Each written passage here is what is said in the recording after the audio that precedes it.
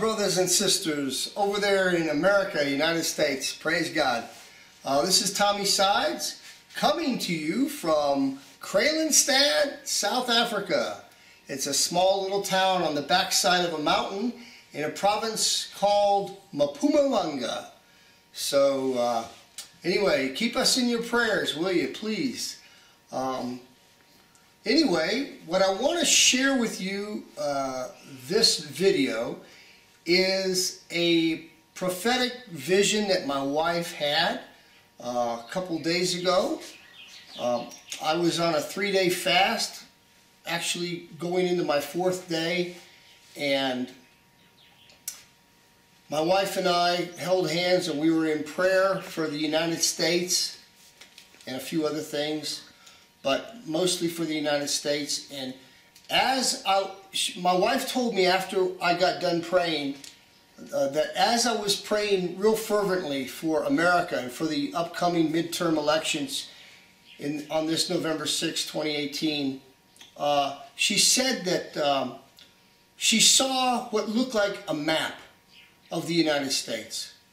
And you know how certain maps have circles on them in different places uh, to denote population centers. So if you got like Atlanta, Georgia or Los Angeles, you have a, a big, bigger circle and then maybe a smaller circle for a mid-sized city like Ocala, Florida or something like that. So she saw all these blue circles. They weren't red, they were blue circles, blue dots, sometimes many different little dots and, and circles and big circles. And then she said she saw these, these uh, red missiles uh, flying and, and hitting the map where all these blue dots were. And they were exploding right on top of these blue dots and blue circles.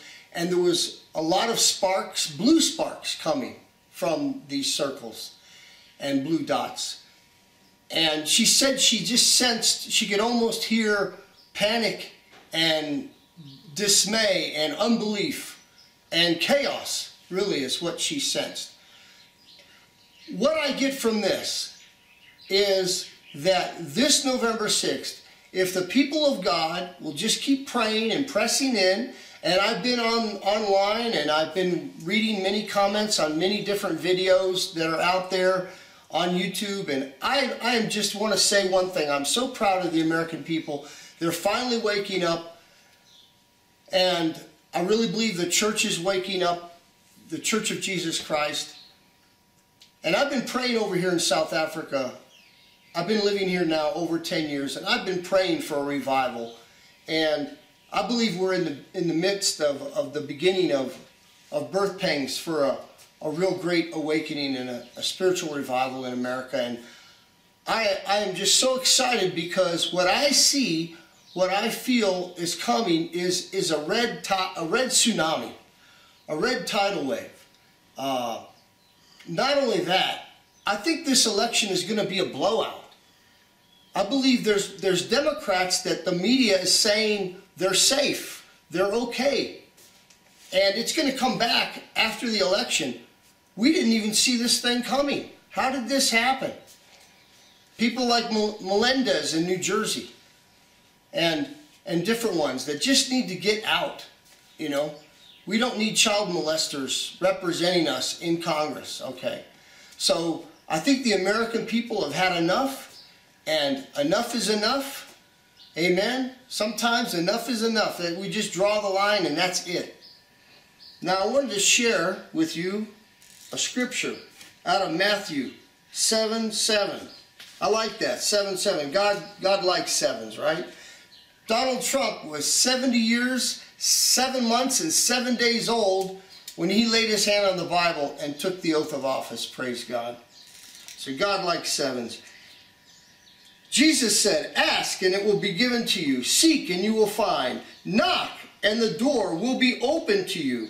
For everyone who asks receives, he who seeks finds, and to him who knocks, the door will be open. Which of you, if his son asks for bread, will give him a stone? Or if he asks for a fish, will you give him a snake? If you, then, though you are evil, know how to give good gifts to your children, how much more will your Father in heaven give good gifts to those who ask him? And I believe all across America, all across the world, in fact, even people, I, at least I'm an American, I'm living in South Africa, but there are many people around the world that have never even been in the United States. But they're, they're living in China, they're living in Russia, India, all over. And they're praying also for this election. Don't forget that. They know what's at stake. God's showing them. God's people around the world are praying. And we're asking. And James 1 says, when you ask, make sure it's with the right motives. Well, you know, when you fast and pray for an election, I believe that it's with right motives. None of us, maybe some people might fast and pray for a brand new car, right? Or a brand new house or something that's going to benefit them uh, right, right off the bat. But when you pray for your country, when you pray for your land, that, that's special to God. That, that really touches God's heart. And I, that's why I believe we've even been calling down the, the commanding angels of heaven. Uh, each commanding angel represents thousands of angels under him. We're, we're just speaking angels and take authority. You know, Luke chapter 10 says that we, Jesus said, I saw Satan fall like lightning. He said that to the 70 that went out. And they came back rejoicing because they had been able to cast out demons. And Jesus said, I saw Satan fall like lightning. Satan is going to fall like lightning on November 6th. Amen? Just remember that. The powers that be, they're, they're being shaken in the United States. And we're on the threshold of something great. Also, Jesus said, when he said, I saw Satan fall like lightning, he said, I have given you authority over all the earth, and you will tread on snakes and scorpions. There's a lot of snakes and scorpions in the deep state, amen? There's a lot of deep, a lot of snakes and scorpions in the United States that have tried to hinder and take the country down. And we just need to believe, we need to hang in there and make sure you vote this, this election, okay? And stay in prayer. And if you can't really do a, a real water fast and you can't do a real honest to goodness fast for God, God knows your heart. At least, it's my little puppies, um, German Shepherd puppies we have. At least you can set aside something special to you. Your breakfast drink or your coffee, hallelujah, something special, your dessert. Just set aside something uh, for God. Praise God. And so he says right here, knock and the door will be open. We just need to keep knocking. We just need to keep believing, keep pressing in, because I'm telling you, November 6th is going to be a blowout. Now, God hasn't given me any numbers as to what, what, what, okay? But I've, in prayer, been asking God for, I've been asking God, God, give us 60 senators in the United States Senate. But I, God, I know God likes the number seven, so I said, God, at least, bare minimum, bare rock bottom minimum, give us seven senators. Seven new senators added to what we got now. But I'm really asking for, for, for 60, okay? Hey, we can be real with God. You can, you can speak it out what you want. And many say that we're going to lose. Uh, you're supposed to lose in the house. I've been saying to God, Lord, I like the number seven. I know you do too. And I, so I've been saying in prayer, Lord, we're not going to lose anybody as far as numbers in the House. I want to at least gain seven new congressmen, new congresswomen in the House. Amen. And if God wants to get, and I said, Lord, if you want to give us 250 in there, or 300, hallelujah. I'm not putting a limit on you, Lord. Praise God. We just need to believe great. Believe, don't, don't even listen to the polls, really. Just believe God. That's about all I got to say, except expect a blowout.